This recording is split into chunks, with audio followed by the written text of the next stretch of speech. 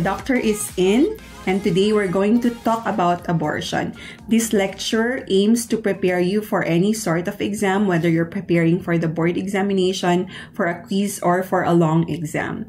So when we talk about abortion, this is defined as the termination of pregnancy before it reaches the age of viability. So first, we have to understand what age of viability means.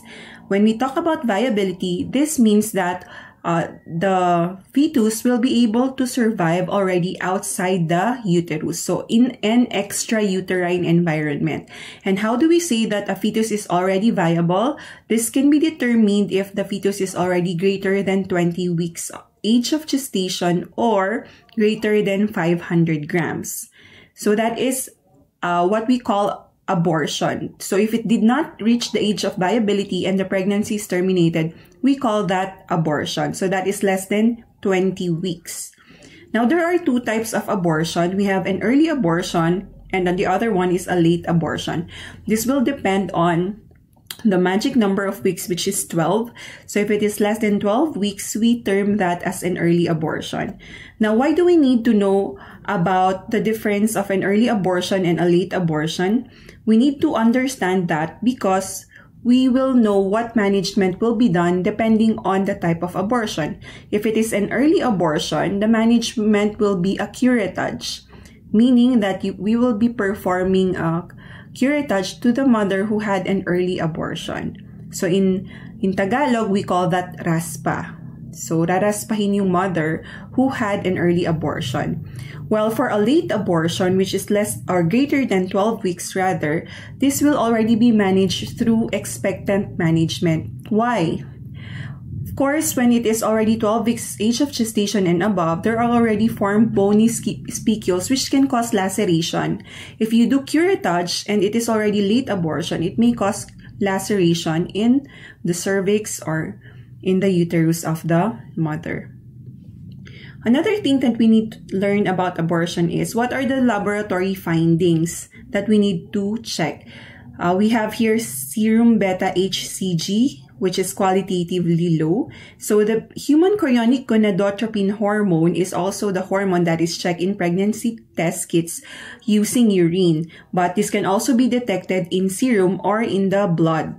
So if it is qualitatively low, uh, it means that the there is already loss of pregnancy. Supposed to be it will continue to increase if you are pregnant and if not or if it is decreasing that means there is something wrong.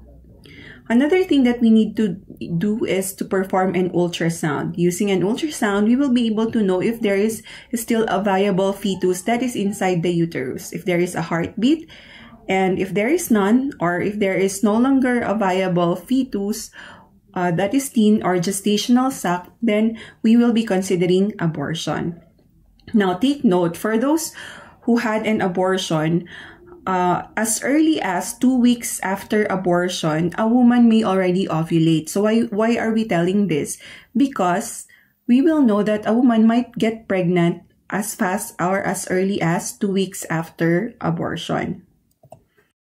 Now, what are the factors that may cause an abortion? Of course, there are different factors. It's not just maternal factors, but there are also placental factors and fetal factors. When we talk about fetal factors, these are things that are seen in the fetus. So first, we may have a defective embryonic development. So the embryo did not develop properly. So once there is uh, fertilization between an egg cell and a sperm cell, it will form an embryo. So what happened is, naging defective siya.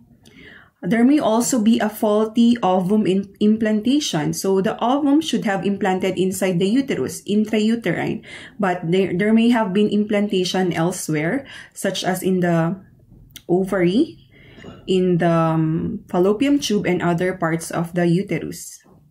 Um, next is the rejection of the ovum by the endometrium. So the endometrium is the innermost lining of the uterus. So if there is a rejection of the ovum by the endometrium, this may also lead to abor abortion. Another thing that we need to take note are chromosomal abnormalities such as Down syndrome or trisomy 21. If there are conditions such as this, it may or these are considered fetal factors that may lead to abortion. Next that we need to consider are placental factors. So when we talk about placental factors, these are abnormalities in the placenta. First, we may have a premature separation of a normally implanted placenta. This is what we call an abruptio placenta. So the placenta is normally implanted in the upper portion or in the superior portion of the uterus, in the superior and posterior portion of the uterus, but it prematurely separated. We haven't delivered the baby yet, but the placenta is already separated. Then another cause would be abnormal placental implantation, which is placenta previa. We'll learn more about that in the next video lectures. And then abnormal placental function as well.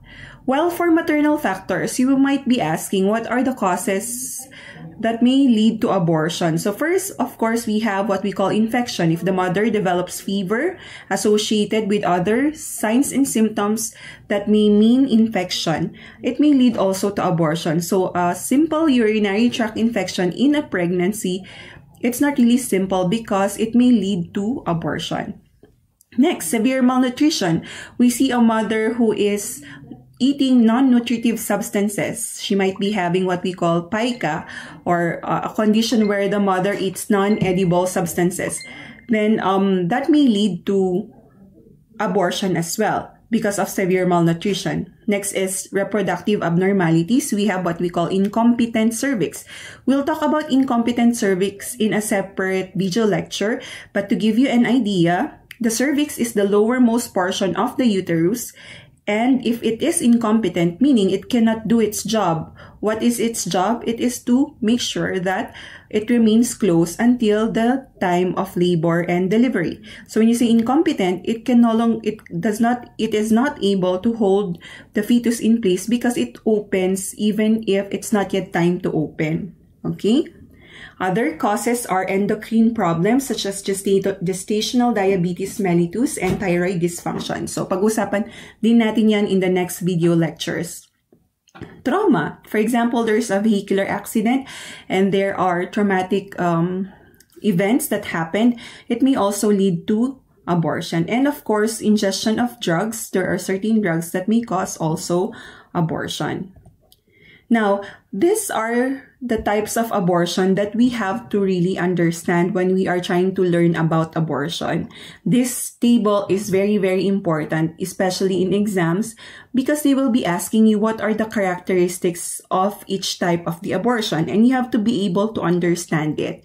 So first, let's talk about threatened abortion, and we are going to talk about it by knowing what are its characteristics based on contractions, whether it's bleeding, if there is cervical dilation, and if the uterus and the age of gestation are congruent, and if there is intact bag of water or ruptured bag of water and other factors. So when we say threatened abortion, what is what do we mean when we say threat?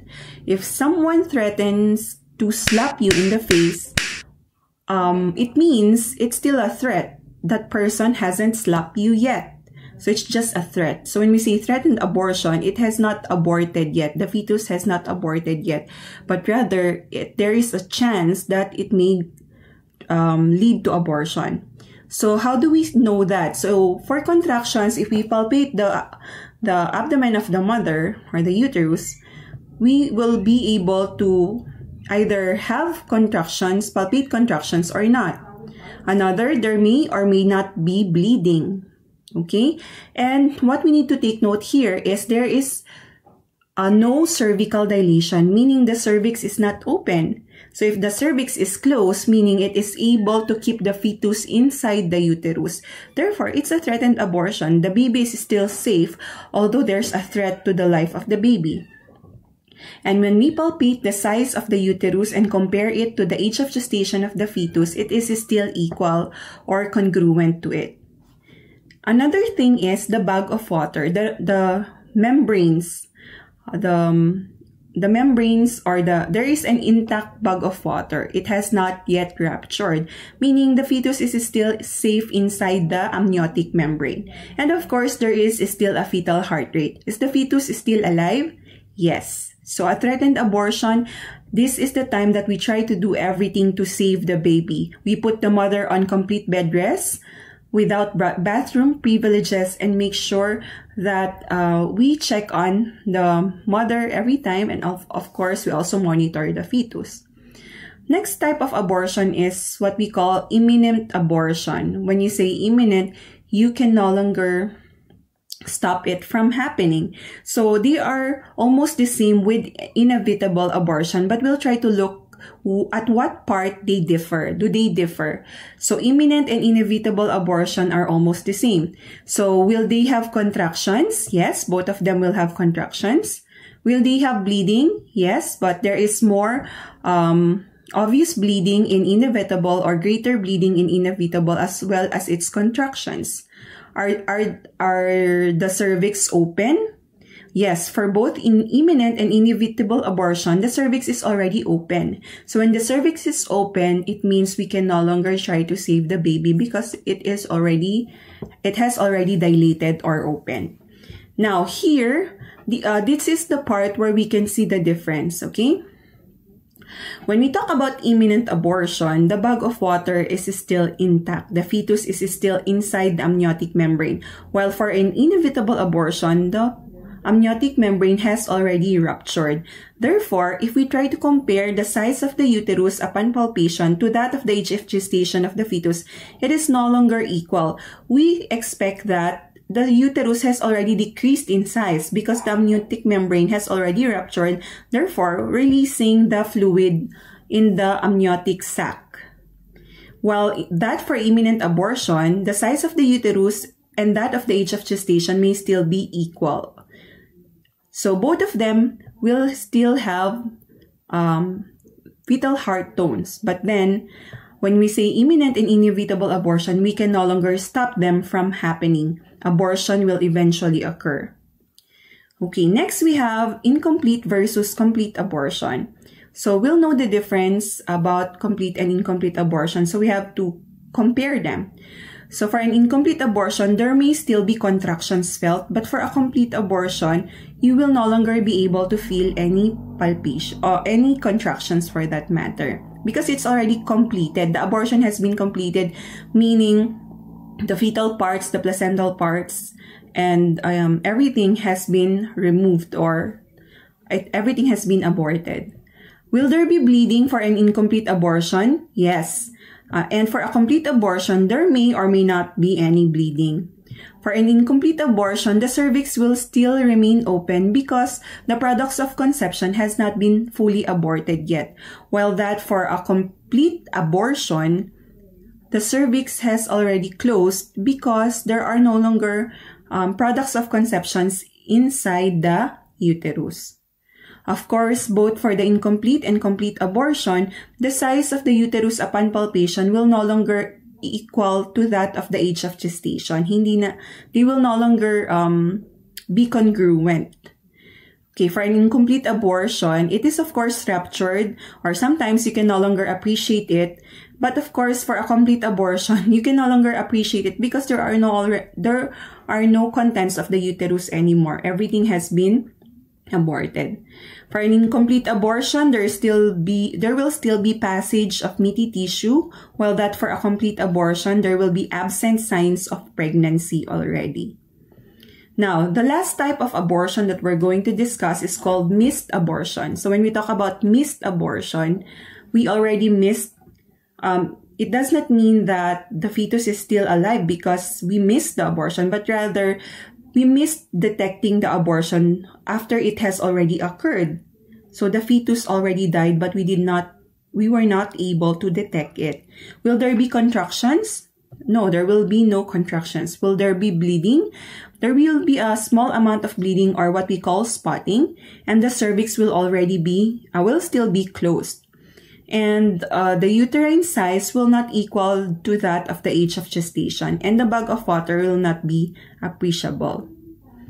And there will be no fetal heart tone. So, the typical scenario for a missed abortion is that after two weeks or four, two to four weeks, uh, that's the only time that the mother will experience spotting. Sometimes it's dark uh, brown vaginal discharge. And then after, upon ultrasound, we can no longer appreciate um, the heart tone of the baby or there are there's no longer a gestational sac or a fetal pulse seen. Okay, so here we have uh, this picture showing us the difference between a threatened abortion, imminent, and incomplete abortion. As we have mentioned earlier, for a threatened abortion, the fetus is still alive.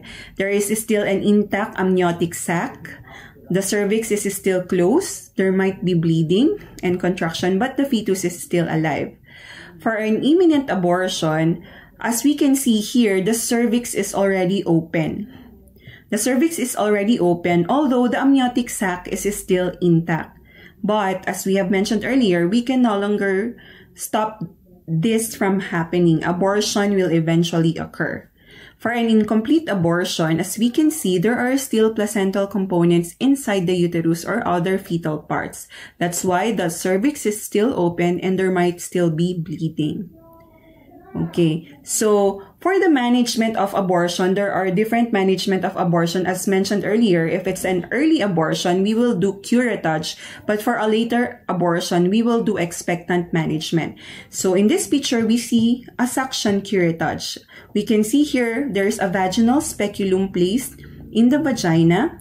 There is an Allis clamp, okay, uh, which is clamp on the lip of the upper cervix and a cannula that is inserted into the uterus after the cervix is dilated. So once the cervix is dilated, this cannula will be inserted into the uterus and the amnion and some of the fetus are shredded and suctioned through the cannula and transferred into a jar.